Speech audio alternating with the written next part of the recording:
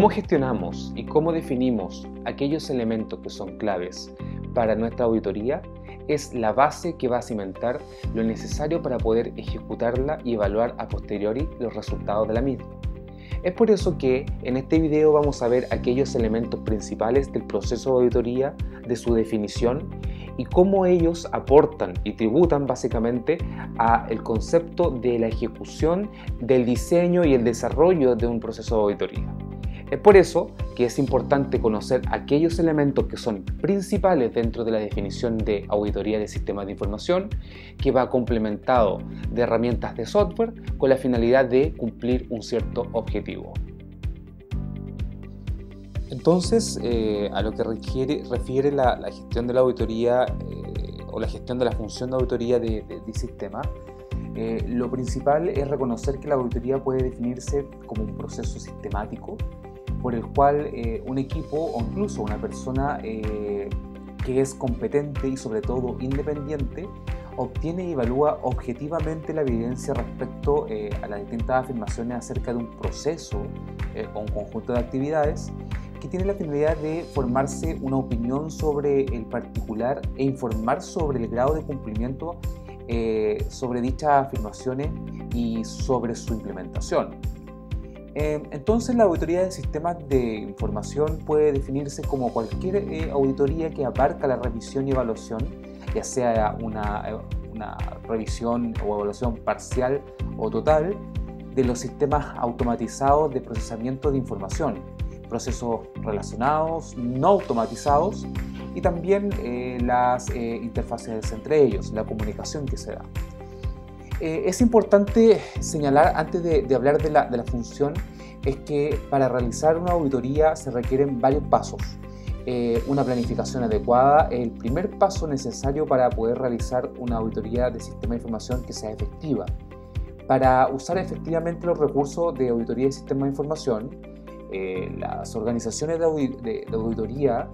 eh, deben eh, evaluar todos los riesgos de las eh, áreas generales y de aplicación y servicios relacionados a auditar y luego desarrollar un programa de auditoría que comprenda objetivos y procedimientos de auditoría que satisfagan los objetivos de auditoría en razón a la empresa o la organización. Em, el proceso de auditoría requiere que el auditor del sistema de información recolecte evidencia a través de las pruebas de auditoría, evalúe las fortalezas y debilidades de los controles basándose en las evidencias reunidas y, reunidas y prepare un informe de auditoría que presente en una, de forma objetiva dichos eh, asuntos a las gerencias. Por el lado de la gerencia eh, de auditoría debe, debe asegurarse de que haya disponibilidad de los recursos de auditoría adecuados, y una agenda para llevar a cabo la, la, auditoría correspondientes. En el caso de una auditoría interna del sistema de información, eh, debe asegurar que, eh, que, para realizar las revisiones de aseguramiento respectivos al alcance de las eh, acciones correctivas emprendidas por la dirección de la empresa. Una dirección sobre auditoría debería incluir alcance, objetivos, criterios, procedimiento de auditoría, la evidencia, conclusiones, opiniones, eh, y, el informe correspondiente, entre otros. Em, hay algunos elementos que son restrictivos, por ejemplo, la, rotación o no disponibilidad del, personal, la infracción de, de las fechas tope o el procedimiento eh, cíclico y ausencias generales de conocimientos eh, o de documentación. Em, pero en general la función de auditoría debe ser gestionada y conducida. Eso quiere decir de que debe existir una gestión de por medio y una conducción, o sea, debe existir personas responsables acerca de este, este proceso. Lo anterior en razón a que se cumple el objetivo de auditoría de sistemas. Eh, como veíamos eh, hace un momento, eh, hay un objetivo de la auditoría del sistema y se debe optimizar los, optimizar los recursos y el logro de los objetivos de la empresa eh, deben garantizar también a la alta dirección. Recordemos que la alta dirección por lo general es quien apoya eh, este, eh, este, accionar. las técnicas de administración de, proyectos para gestionar y administrar proyectos de auditoría, ya sea automatizado o manual, deben incluir siempre como mínimo el desarrollo de un plan detallado, el, el cual este plan debe dispensar los pasos de auditoría necesarios en toda la línea de tiempo. Se debe hacer estimación realista de los requerimientos de tiempo para cada tarea con la debida consideración y la disponibilidad del auditado. Se debe, en segundo lugar, reportar actividad del proyecto contra el plan, o sea, se debe llevar el control de cómo se está ejecutando la, eh, eh, estas actividades. Se deben generar reportes eh, de modo que los auditores del sistema de información puedan reportar el progreso real. Y tercero, ajustar el plan y emprender una acción correctiva. Esto quiere decir que se, debe, se debería medir los logros reales contra el plan establecido de manera continua y se deben hacer cambios en las asignaciones del auditor del sistema de información o en los cronogramas planteados a medida que se vaya requiriendo. Lo que dice en relación con la organización de la, función de auditoría de, sistemas,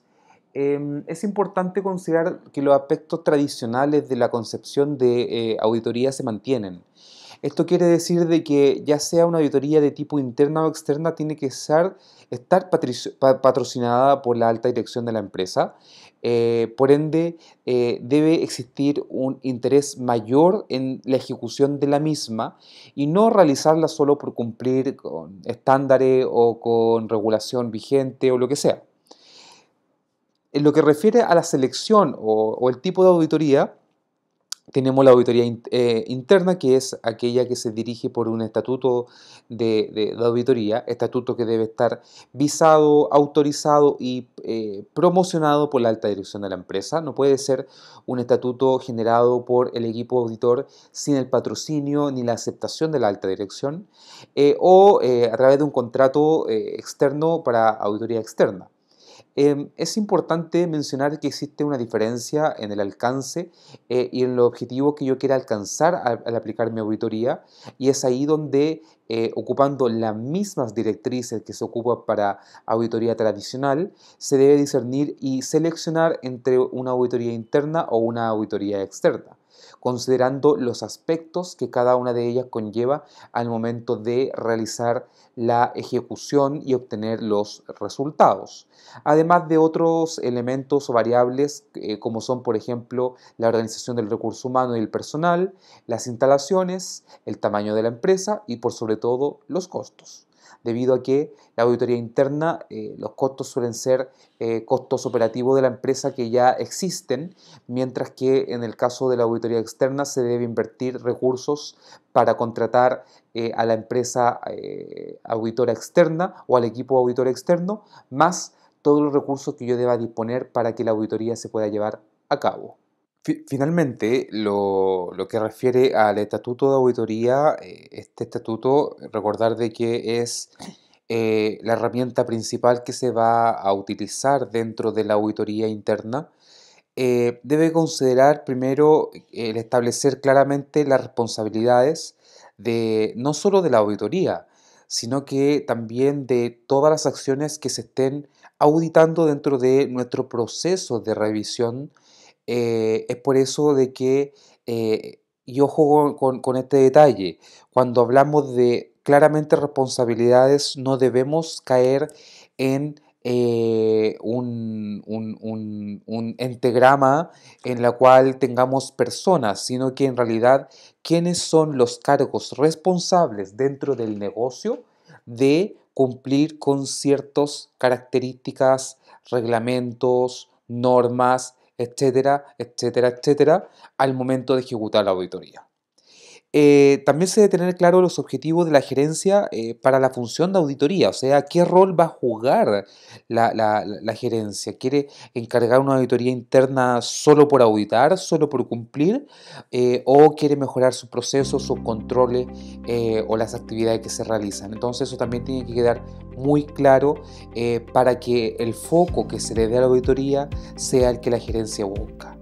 Eh, hay que delegar eh, las autoridades, quién va a ser responsable, no solo administrativamente, sino que también operativamente, de forma que pueda mandatar, por ejemplo, la recolección o la entrega de antecedentes en base a ciertos elementos que se vayan a auditar o se vayan a revisar. Em, por último, hay que considerar la autoridad de, este proceso, quienes van a dirigir e, este proceso y que tengan la autoridad necesaria dentro de la empresa para, para que se pueda mandatar y dirigir esto, esta auditoría, el alcance que tiene. Eh, no podemos ejecutar una auditoría ni de sistema ni de ningún tipo de forma total a todos los componentes de la empresa. Por ende, se debe buscar y definir el alcance que tiene la misma, por ende eso va a ser lo auditable dentro de un contexto más grande. Y finalmente, las responsabilidades que vamos a tener eh, que eh, identificar para eh, cada uno de los elementos, etapas y actividades que compongan la auditoría de sistemas de información. De esta forma, en este video vimos aquellos elementos principales que conforman la base para construir una auditoría de sistemas de información.